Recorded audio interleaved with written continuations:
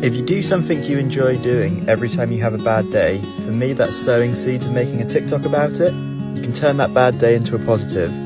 And we now have over 200,000 people watching, and we just want to say a massive thank you to you all. If you do something positive on those bad days, good things will happen.